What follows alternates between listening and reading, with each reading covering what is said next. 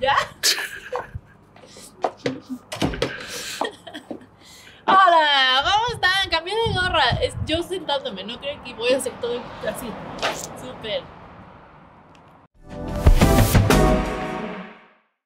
Este fin de semana por fin convivimos con otros seres humanos después de cinco semanas en cuarentena. Estuvo muy emocionante. Llevábamos sin ver realmente a alguien casi mes y medio y nuestra regla era, que podemos ver a gente que lleva igual en cuarentena como nosotros y que sabemos que no han salido y que no han convivido con gente enferma y que nos caen bien. Eso es bien importante porque estoy segura que hay gente que ha hecho eso, pero nos cagan. Entonces, como, no, estamos bien, siento, siento tantito aquí, mejor no vengas.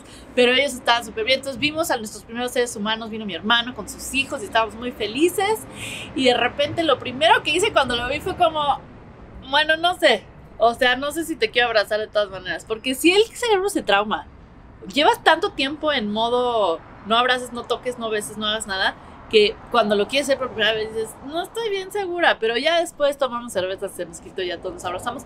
Pero creo que eso sí debe ser la regla. O sea, sí va gente, pero que, esté, que estén 100% seguros que también han estado en cuarentena. Ahora, cada quien en este fin de semana reaccionó diferente a este nuevo, a esta nueva, este convivio, hasta nuevo convivio. Por ejemplo, mi reacción fue muy como, ay, qué padre, y estábamos todos platicando y muy bien, tampoco es como que me la viví abrazando a todos porque no soy una persona que abraza, y la reacción de mi esposo sí fue distinta. O sea, él sí se puso hasta el huevo un día y acabó a las 4 de la mañana con mi hermano.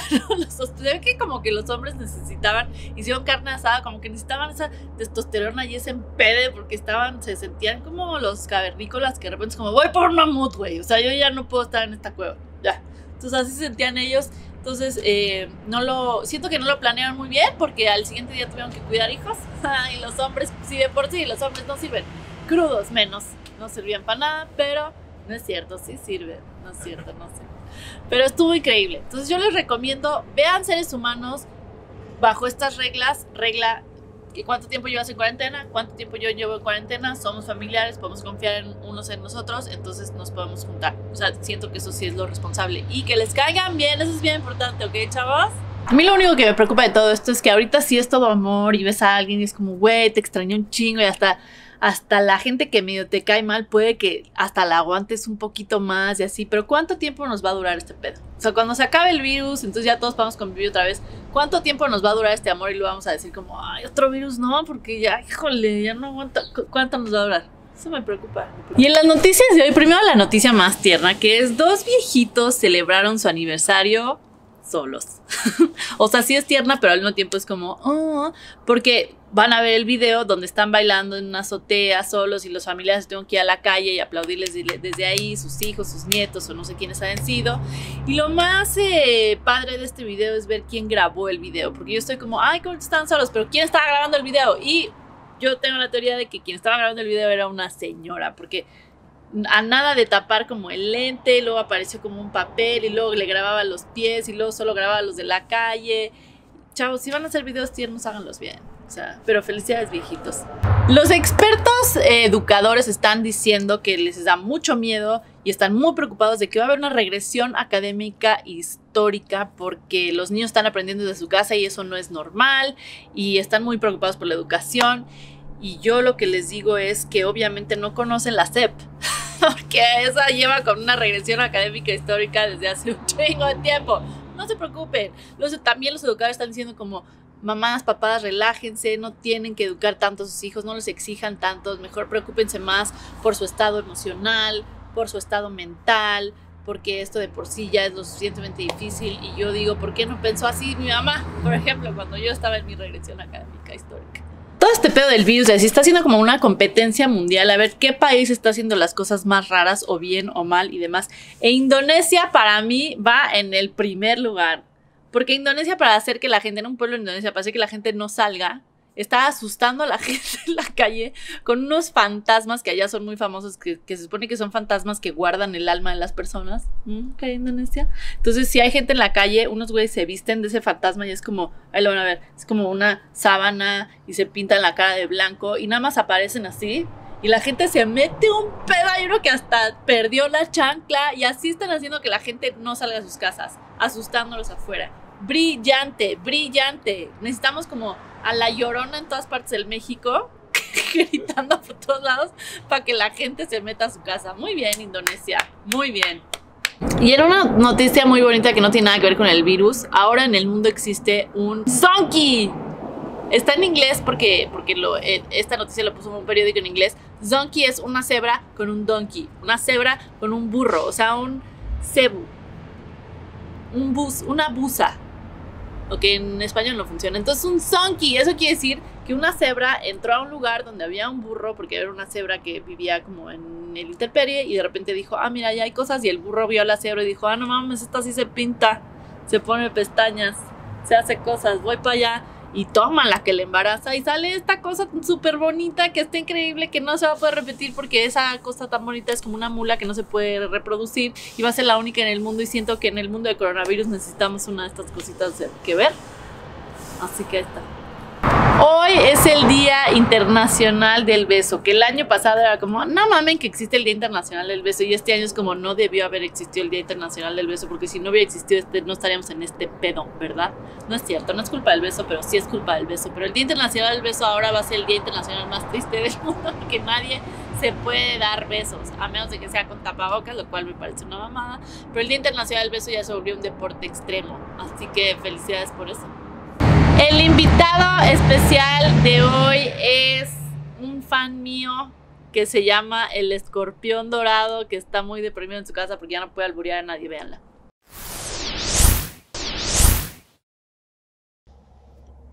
Hoy me acompaña nada más y nada menos que el escorpión dorado, o la luz en su techo más bien. ¿Qué tranza? Perdón, me estaba haciendo el amor a mí mismo. Porque es lo único que puedes hacer, porque no nos podemos tocar ya a nadie. Así es, entonces ahora tenemos que hacernos el amor nosotros solos o tener cibersexo, eh, tener también sexo tántrico, como nos enseñó en alguna película noventera Sylvester Stallone y todo eso. Wow, ya estás viejo. Dime una cosa. Dime una cosa, escorpión. Tú que eres tan conocido por ser un grosero alburero, eh, pero al mismo tiempo fino, persona, luchador, y sales a la calle a molestar a gente, básicamente, menos más con pelo en el hombro, bien sexy. Eh, ¿Qué, estás haciendo ahorita? ¿No Yo no, a ver, déjame aclararte algo, Sofía. Yo no insulto. Ah. Yo describo. Si alguien es pendejo, ¿cómo le digo? Pendejo. Es una descripción, no una ofensa. Tienes razón. Si a alguien le digo, a ver, no seas pendejo, eso no es insulto, esa es sugerencia. no, es que yo siempre he dicho que eres brillante. A veces. Claro. Obvio. Pero no estás deprimido ahorita que no puedes salir a describir a las personas.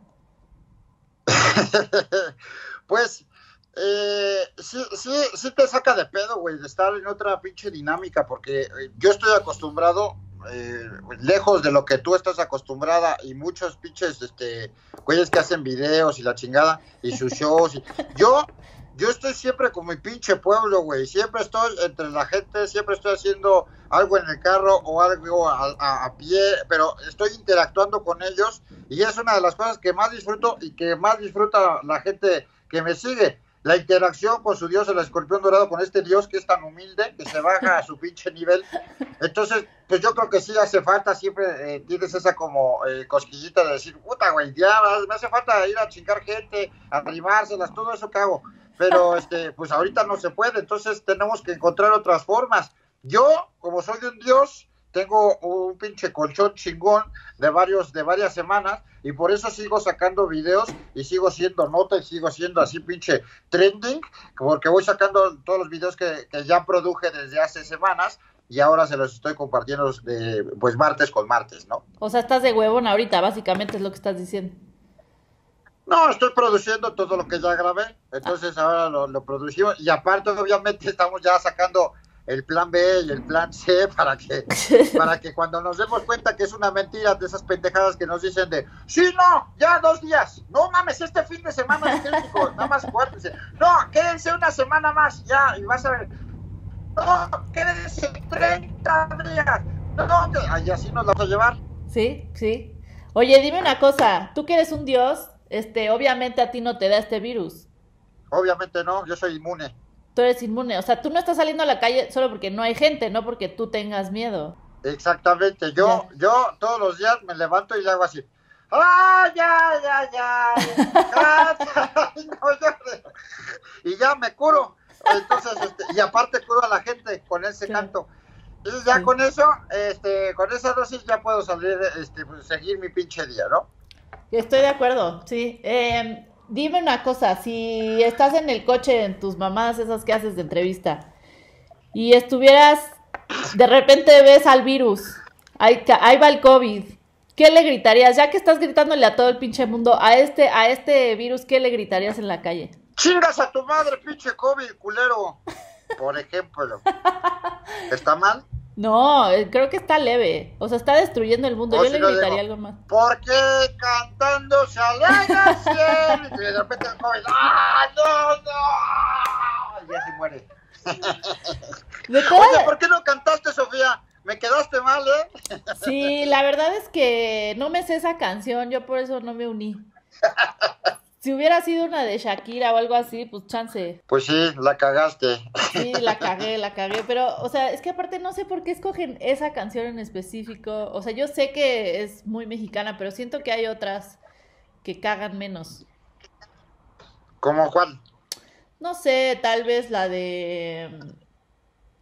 O también la de. ah, sí, muy o, la, o puede ser la, la otra, esa. Ándale. Yo, yo, esa era mi primera opción.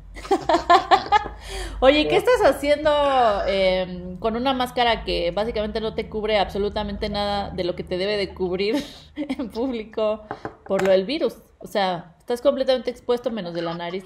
Exactamente, sí, pero, pero tiene, y aparte sí es un pedo, Sofía. Yo sí de repente digo, no mames, está bien fácil entenderle a esta chingadera si usas cubrebocas te lo hacen de pedo este porque usas cubrebocas y por estarte lo gastando.